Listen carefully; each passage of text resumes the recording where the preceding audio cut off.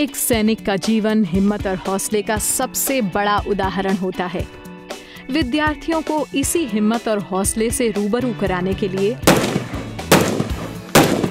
Ministry of HRD और ministry of defence साथ मिलकर आयोजित करते हैं सीमा दर्शन प्रोग्राम। हमने बच्चों को तमाम सेना की गतिविधियाँ, सेना के हमारे पास जो भी वेपन है वेपन डिस्प्ले और उसके अलावा साहसी कार्य से बच्चों को अवगत कराया। जिसमें स्कूली विद्यार्थियों को भारतीय सीमाओं और सीमावर्ती क्षेत्रों का दौरा कराकर वहाँ के हालातों और उन हालातों में भारतीय जवानों के जज्बे से व्यक्तिगत रूप से अवगत कराया जाता है.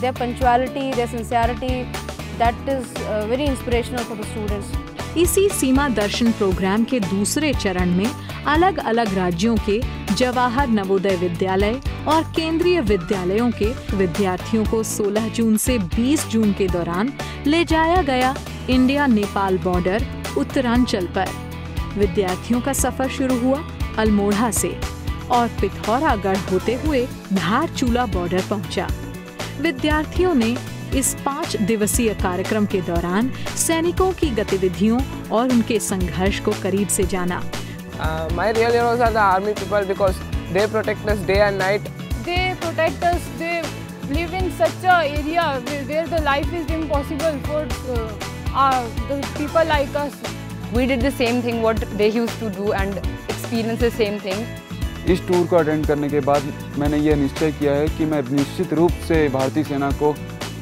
ज्वाइन करूँगा और इस देश की रक्षा करूँगा।